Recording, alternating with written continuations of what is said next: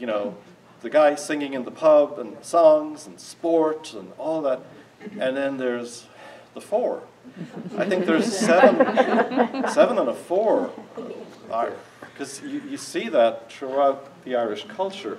Like you have the intense uh, poetry and all of, of that melancholy. I mean, we're obsessed with death and grieving. I mean, you know, and if people, if you listen to people's conversations, it's always about what's wrong with them. it's, it's like, honestly, it's just a soundtrack, you know? Or you have the real happy-go-lucky, sing-song, you know, hail fellow well met. Yeah. So France, France has been described as a classically four yep. country. Right. All you have to do is look at Les Miserables, right? Right, yeah. kind of iconic. Right, bring him home. Um, the other four country is Japan, and that is a four because of, you know, like the bonsai and the beautiful rock gardens and this beautiful uh, obsession with creating a nice environment and beauty and all of that. So again, two very different looking fours, Japan, France. But, you know, lots of uh, film noir. you know, there you go. That, that says it all. French film noir. Um, some have a compulsion to be extraordinary. Most have this that shows up as wanting to be unique, wanting to be special, uh, self-absorbed. And again, you know, as I keep pointing out, this is not just the four. This is all of us. We can all be self-absorbed, but in a different way. The four, the one is self-absorbed about being perfect. It's, it's just a different, you know, a different shade of, of the same thing. But it's, you know, but they can be very self-absorbed about their feelings. Um, the classic example from my own life was um, when I was at St. Anthony's in Kailua, there was a lady who was a four, and she was a very depressive four, very withdrawn four, and it was like, when I would see her coming, it was like this black cloud And after service, every Sunday, she would always hang back, and then always, like, you know how I stand at the door, greet people, she would come and start talking to me. And I would feel the blood just like draining out of me. It was like, somebody save me, please. And one Sunday, this actually happened. I said, you know, I've got to go. And she kept talking. so another five minutes go by. I said, you know, I really have to go. Another five minutes goes by. She's just like totally. I walked away. I literally walked away mid-sentence. Because I, I couldn't get through. I couldn't not. I just literally turned around and walked away. And of course, I felt awful, you know, being a woman. but, um, but that was a, an example of that sort of self-absorption. No idea that, you know, of what what the other person is experiencing. It's all about they're so lost in whatever story she was telling me that. Uh, mm -hmm. ER? I think so, yeah, yeah. Good catch.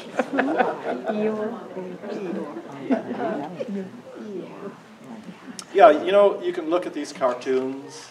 Um, what's the little one of the dog and the girl and the football? It's always oh, peanuts. Oh, peanuts. Peanuts. You know, you can look at those. Charlie Brown. Charlie Brown. They're all they're all characters of these personalities, if you will.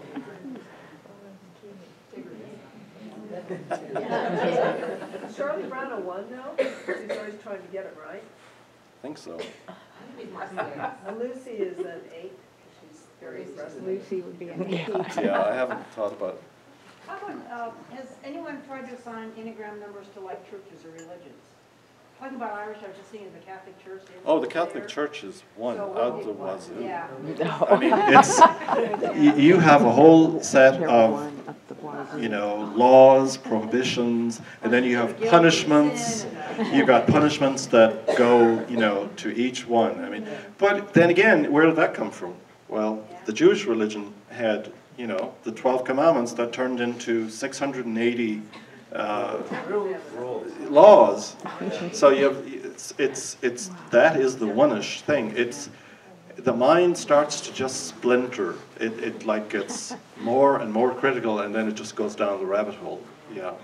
Um, I think that unity can be a little sevenish because if you, not modern, uh, well I should say not our version of it, but you go back 20 years, 50 years, there was this obsession with um, the positive. And uh, we don't, you know, do you hear about the crucifixion in Unity? Not often. You hear about it here a little more.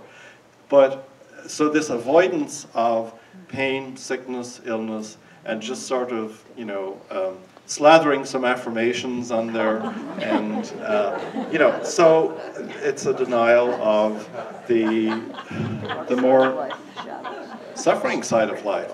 So you know, you, you need you need to have a balance there. I mean, we have wonderful teachings, but they can be misused, obviously. Um, Methodism, well, that's very much a head thing, I think. So I don't know. Methodists, Methodism. Uh, I would imagine that the Friends Society, which, you know, that's all about going inward and being still, Quaker. nine-ish. Yeah, because, you know, you just go there, sit still. You don't get into any conflict with anybody. There's no discussion about, and anybody can say anything and you don't contradict them. You just go, okay. You know. Yeah. So I haven't, I haven't thought that out. Maybe I'll do a little more thinking between now and next week. You know, I was raised as a Lutheran, and Martin Luther broke away from the Catholic Church, but what the church I went to was still pretty Catholic. We got all the sin and Christ Yeah. died for your sins. On children, that really has quite. uh, That has an profound- effect, Can yeah. have profoundly negative effect on children. Yeah. It's just hard to take that in. So, you know, depend, whatever number you were, if you grew up in a Catholic setting that was pretty intense, you may take on all of that one-ishness Yeah. Until, you know, a point where you say, this is not working, and you throw it off. Yeah. Yeah. Uh, and Martin Luther is a classic one, uh, because, you know, he wrote up his thesis, and it's all that. And, and then at the same time, it's falling into grace. Like it's giving up on it, and just, you know, God's grace saves you. End of story. And my church was a conservative Lutheran church, there are probably Yeah. others more liberal. Yeah, there are. There are two versions. The New Lutheran Synod, St. Louis, Missouri Synod is much more, yeah. Okay, back to the four.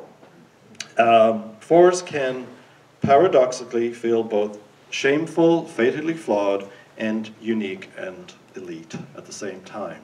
And you can see how that can be. Uh, they're invested, often having problems, because it's the intensity of the feeling is what the four is about. Whether it's negative or positive, where they're getting the juice is from the intensity. So, like if you think about French haute, you know, cuisine, haute couture, it's like all of that is about this taking it to the, the limit, sort of. Um, so, you know, um, wonderful food, savoring, oh my God, the intensity of flavors and all of that. And then the beauty of interior design and wonderful clothing. So that's where they get their juice from, is from the intensity. Um, in their relationships, they can have a pattern of push and pull. Um, you know, other people seem to have it all. They seem to have to better than me, and yet at the same time wanting to be in like a love relationship because again of the intensity of wanting to feel that there's someone who gets them at that deep level of feeling. Um, seek real authentic expression, values depth, hates superficiality. Yeah, so there, there's not much um, truck with, uh, they won't be going to Burger King too often. You know, that kind of, it's, it's like they want uh, nice things and good food and all of that. Um, can be self-conscious, feels misunderstood. And of course then, if you take this to extremes, you do get into the whole uh, depression and melancholic nature and suicidal tendencies. But on the other hand, if you look at some of the mystics, And you look at the writings of the mystics, let's take John of God. His poetry is all about love and the intensity. I mean, these incredible poems. Uh, um, Loreena McKennitt put one of them to music, The Dark Night of the Soul. I mean, it's beautiful stuff. I, maybe it's my one-ishness or my fourish quality over there that I'm, I can go there on that, on, on beauty and words. So again, like it can be just words, they're, the intensity of words can, it's, four some people, they don't understand that. But like Emily Dickinson, again, you know, this poetry about death and dying and funerals and graveyards. And probably El- Edgar Allan Poe would be another for personality. Um, so ecstasy, the agony and the ecstasy. And there is one of uh, Shakespeare's sonnets, I think it's number 23 or 24, where, you know, that's what he's doing. He's going from, one minute it's like, oh, you know, I've, I'm missing you and all that. And then the next minute it's like he's flying high. And, and that's a classic uh, expression of a four. Um, they can withdraw, they can sulk. So it can be challenging uh, to be in relationship with a four. This is a roller coaster ride, it can be, and it can be pretty intense, and from one end of the spectrum to the other. So you have to be a pretty uh, balanced person, you have to be a pretty strong person to be able to endure that. Idealistic imagination, romantic fantasy, sensitive to art and beauty. And that's, that's the strength of the four, is that um, this fascination with beauty uh, allows them to be very creative, and they have given so much to the world in music and art and literature and fashion and all of those wonderful things. Okay, so for those, again, who are new, we uh, know that each of the personalities has what we call wings. And your wings are always right next to the number that we're talking about. So for instance, here is the four. The number to the right is a three, the number to the left is a five.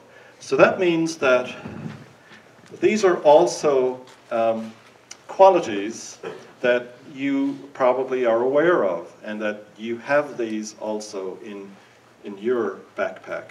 That you can choose to go there, or sometimes you've learned just to go there according to circumstances.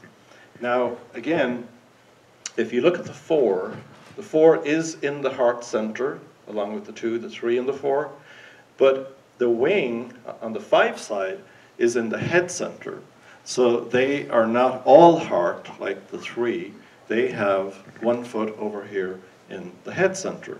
So that will be a balancing uh, influence of the five, the head. So, um, and then on the other side, on the three side, that's also uh, more of a heart space. So, as we've learned, a number with a wing on the left will look very different from a number with a wing on the right. So they, they'll look different. So here we are talking now about the four who has a three wing. And again, the three is the achiever, uh, very organized, and is very interested in image. Now you can see there's some overlaps there. Uh, this interest in how they're projecting themselves. The fours are really intensely interested in that. And so there should be some overlap there. So, uh, four with a three wing expresses creativity for its own sake, but also desires success and recognition. So that's good because it kind of takes them out of that, you know, more inward looking to more outward, being, being interested in how they're coming across, are they successful, what's the recognition that they're getting. Balancing creativity and ambition can cause deep internal conflict. So their natural tendency is to stay in that feeling place, and yet now they're being kind of pushed out of that uh, into more of a three wing, and that can bring up then some internal conflict for them. uh, very self-absorbed, may feel superiority. So again, like if you're projecting this image out there, you can get caught up in that image that I'm better than others. And again, this want then to be seen as even more special because it's all tied up in the image. They may be perfectionistic and may have a strong one expression, and we'll get into that in a while, why they do that. And they pursue objects of envy. So we talked about that, thinking that other people have it, I don't. And therefore they can get kind of um, obsessed with people who have some quality that they think they don't have. Uh, more extroverted with the three wing, more competitive than fours with a five wing, emphasis on self-presentation. Okay, so then if we switch now to the five wing, we have, there's a drive for expression of unique self that leads to a quest of mental analysis. So the five is the one who's uh, the owl who's sitting there observing, taking it all in, cogitating about it, trying to get more information, more information. So the three starts, to, uh, the four starts to take on more of that, more of that mental energy. Is pleased to be different from the ordinary. Self-interest is dominant. Get lost in fantasy that appears real. So we can see how that could be troublesome. Comfortable with life's dark side. So maybe, I don't know, maybe the um, Emily Dickinsons of the world are fours with a strong five wing. Who knows? Elitist and eccentric. So there's, there's a little touch of eccentricity about fives. They can be. They can be the nutty professor. They can, they can think of themselves as special in a different way. You know, I have this knowledge. I'm the expert, and I'm not sharing it with you. yeah. So, so the four, who's already feeling special, can get into that type of specialness and can push the edge of sanity. The fives, because they are introverted already, um, they bring more introversion to the four with a five wing. Um, and, you know, we'll get into this next week, but fives, uh, fives can be uh, very monk-ish, uh, Zen masters, uh, people in monasteries, uh, not interested so much in that deep interpersonal connection or emotional connection or sexuality. Very often fives will be in relationships where uh, they, they have intimate relationships, but often they'll live apart. Um, they'll get together for the weekend, Friday, Saturday, Sunday, and then it's like, have to retreat back to my pad so that I can get my alone time just to think and not be out there so much. Um, so you start to combine that kind of energy for four. So you can also, again, then start to get that withdrawing from society or from external relationships. But they are not quite as interested in image uh, as the four with the three wing. Okay. So here we go then with the lines. So this is where there are two other points on the circle that in crisis or when you crash and burn, you go to one of the other points and you take on the negative qualities of that other point. And then we have the heart point where you're in a really good place. And then you take on the good qualities of that other number. So, for the four,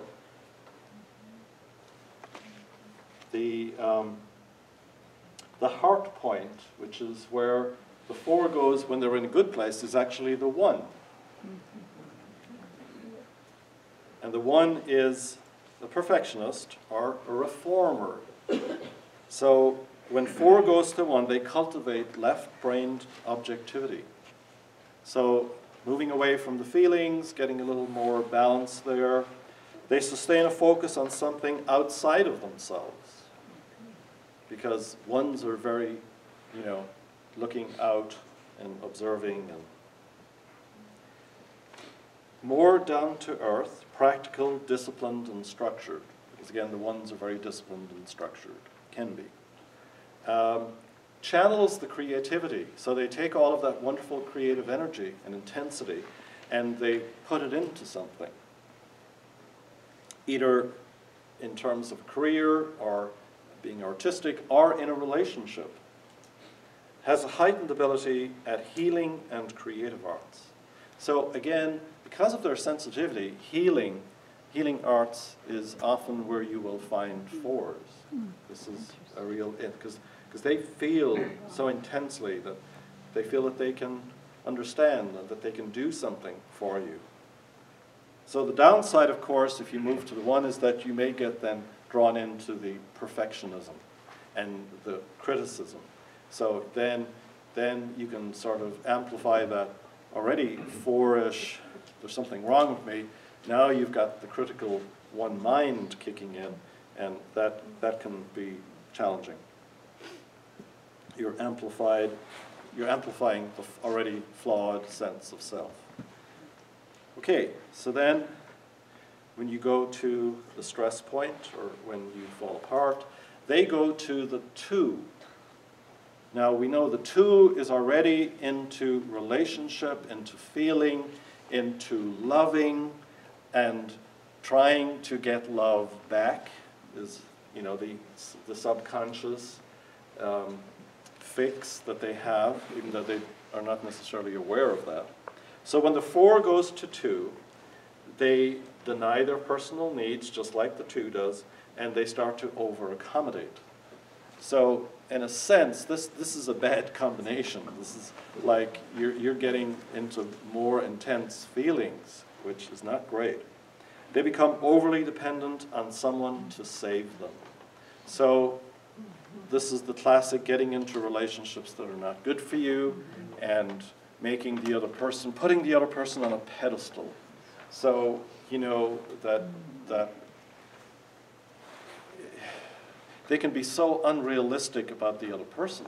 You would think the other person is like, you know, Jesus Christ or whoever, and then you meet them and you think, I don't think so. You know? But that's this idealized uh, version of who they need to be in love with, who will take care of them and rescue them. So it's like a savior uh, complex, in a sense. Uh, at the same time, becomes resentful of the rescuing other. So again, then, when that person is in their life, and of course, they're not going to live up to the expectation, and then there's the backlash against that uh, tries to win others over, becomes more possessive of their partner.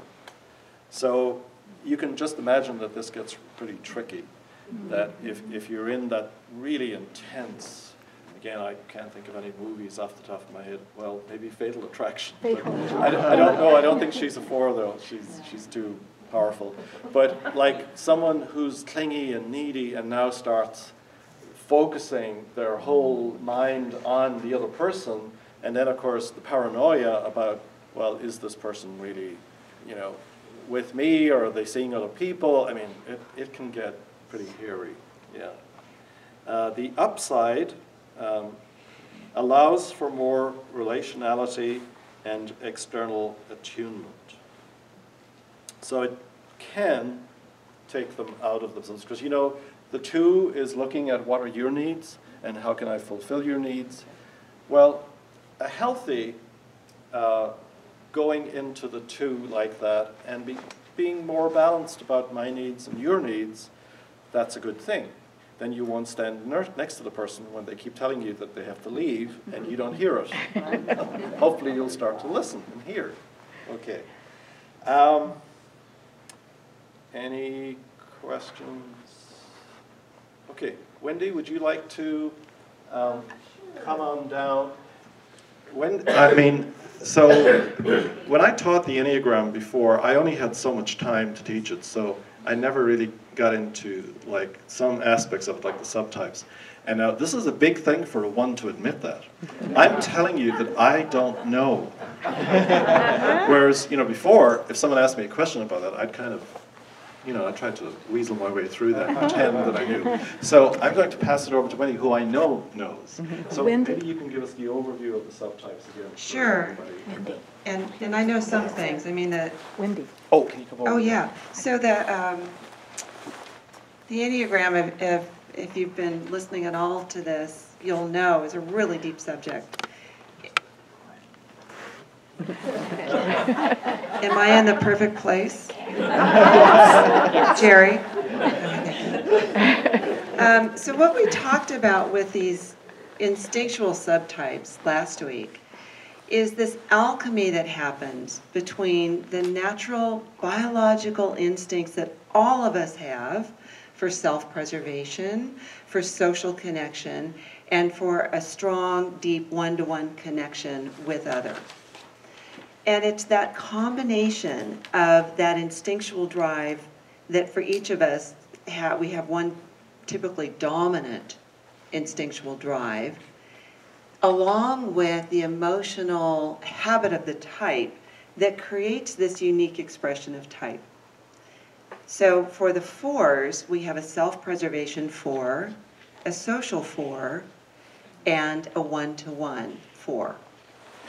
The way that I think about four is oftentimes around this concept of suffering. The emotional habit of type is around a sense that I don't have what they have and I want to get it. It's described as envy.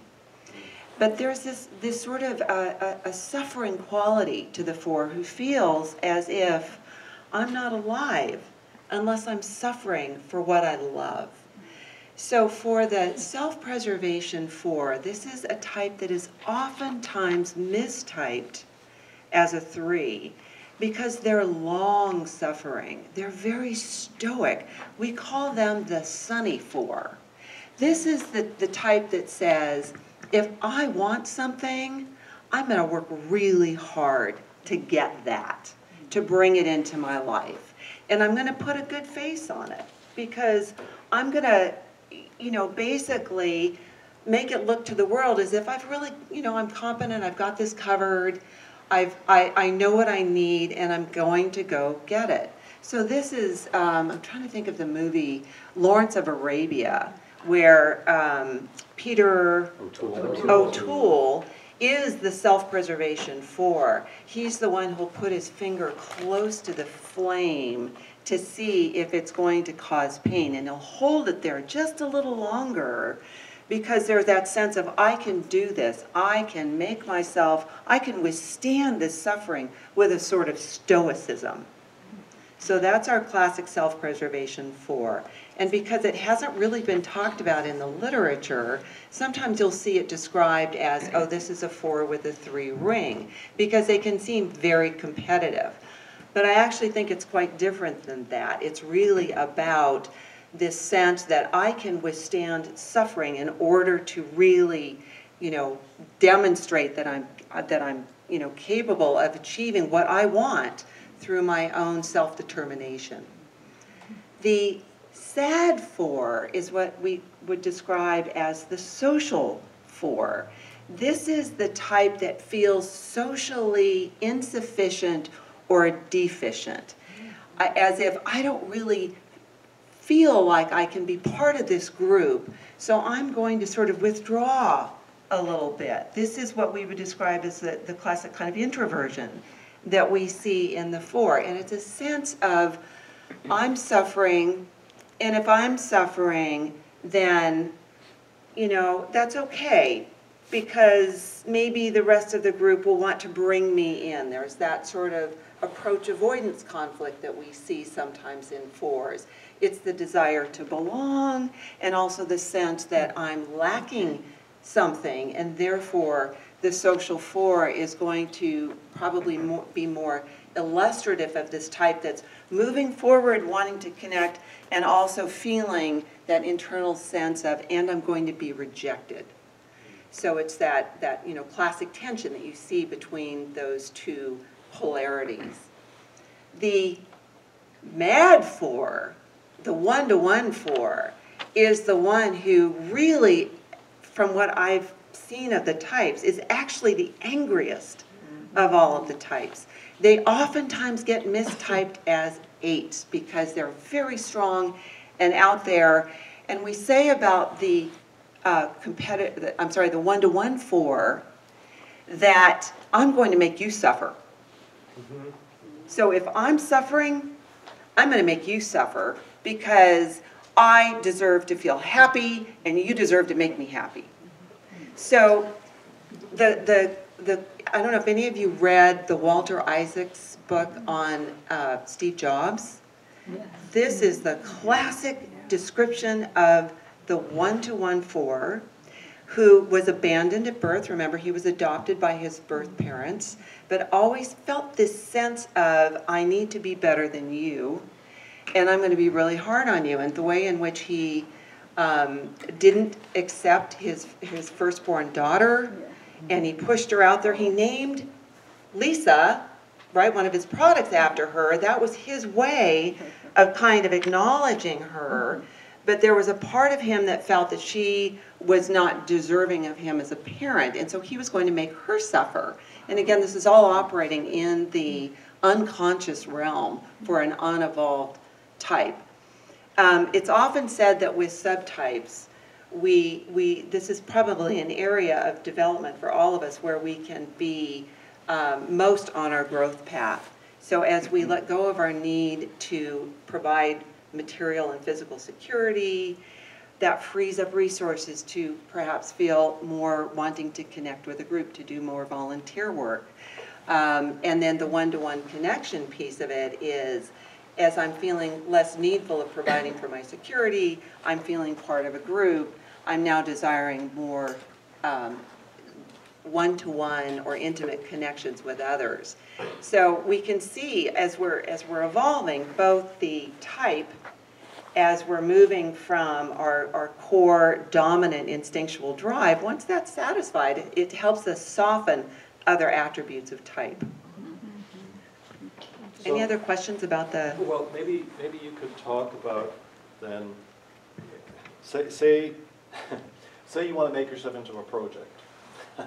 say I want to improve myself. Say you want to improve yourself. So would you say then that you start with the wings, you start with one wing as opposed to another, uh, and in relation to the subtypes? Like, is there kind of a? A hierarchy. Yeah. Yeah. Oh, boy, that's a, That's a I know how that's- much time do we have? Yeah, well, we might have to do that one of the days. So So, if it's too much, we can hold on. You know, I think the, the evolution of awareness and consciousness, mm-hmm. right, starts with, first of all, recognizing that we have an inner observer mm-hmm. that is separate from how we express, you know, how the personality wants to express itself. So as a task-oriented person, as I'm running off to change the kitty litter, and my husband says, honey, I really need to have a conversation with you, that, the, the drive to take care of that task, if I'm unaware,